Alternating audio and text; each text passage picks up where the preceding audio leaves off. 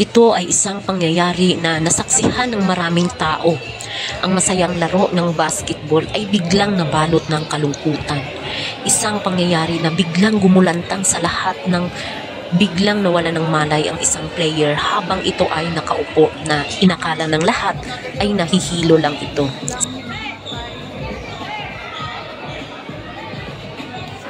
So bago ang pangyayari ay ito, excited ang lahat at ang mga tao ay uh, nag-aabang sa laban na ito, laban ng mga taga Barangay 185 versus Barangay 187 Senior Division. So ang larong ito ay uh, quarterfinals na laglagan na kaya medyo excited talaga ang laban na ito na ginanap dito sa Ronyes Cortala, Caloocan City.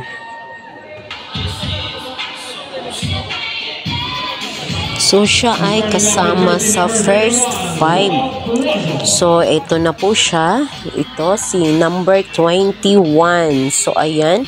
Siya po talaga unang tinawag para sa first five. Ayan na po siya. So, ayan. Nakita naman natin kung gaano siya ka-excited talaga. Napaka-energetic talaga niya. So, ayan, sa umpisa ng laro, so, uh, salang po talaga siya sa first half. So, so ayan, ipakita ko sa inyo yung first half ng laro na uh, talagang naglalaro po siya. So, ayan, makikita natin si number 21. So, si number 21 po siya. So, ayan, wow, ayan, ang galing-galing niya talaga. So, isa talaga siyang magaling na player ng Barangay 185 Senior Division.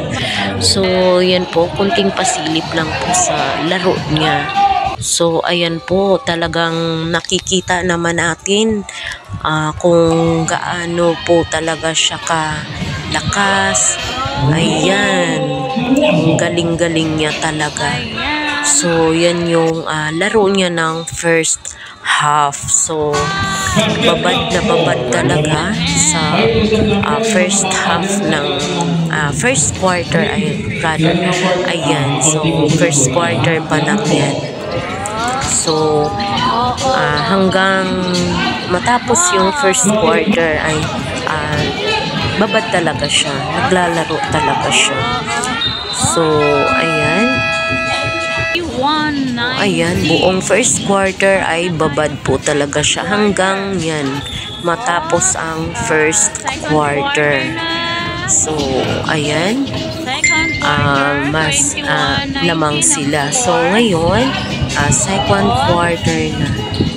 So, ayan, sa uh, pagpasok ng second quarter, Ayan, uh, hindi na siya kasama dyan sa mga oras na to. Siya ay nakaupo na lang doon sa pwesto nila habang pinapanood ang kanyang mga kasamahan, ang kanyang kupunan sa paglalaro. So, sa pagkakataong ito, Ayan, dumating na rin yung aming uh, congressman na si Dean Asistio. So, itong paligan na ito kasi ay uh, paligan ng aming congressman na si Dean Asistio. So, kaya ito ay Dean's League. So, ayan. So, uh, nanonood po talaga yan siya. Ayan. Ayan.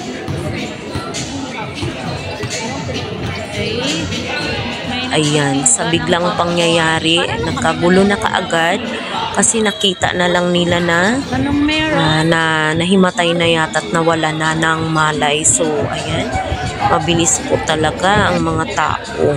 Ayan, so hindi na rin po ako nagpahuli at ako'y lumapit na rin. Ayan, inaalam ko na rin. So, ayan, ah, uh, Over patigilin.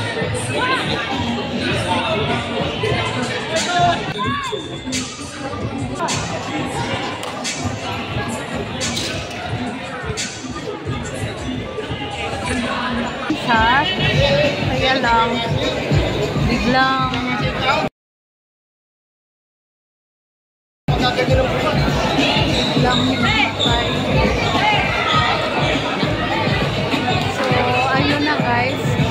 Dadalhin siya sa hospital.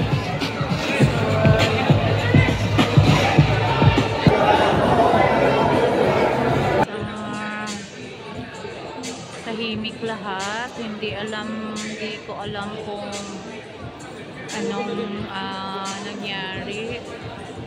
So, standby lang kami dito. So yun guys, ah, napakalungkot po ng pangyayari kasi ay talagang ah, wala na po. So binawian na po ng buhay. next week. So, yun guys, ah, dapat may isa pang laban. Mamaya, isang game pa ng junior division pero hindi na talaga siya kaya kasi syempre po uh, uh, malungkot na po talaga.